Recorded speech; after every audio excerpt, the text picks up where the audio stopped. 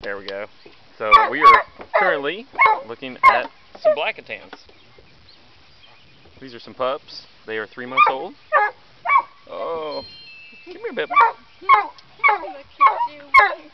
the other day when we took them to the vet Friday, it was these two and those two, and I laid the back seat down in the truck, and Troy drove, and I was the passenger, and all four of them were up on the back seat, pulling my hair, licking me.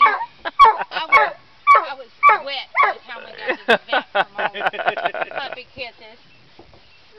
Come here, Bubba.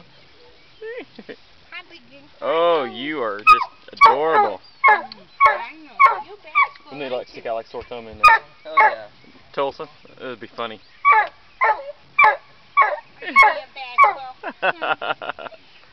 Are you being you we bashful? can get a little footage of little girl over here.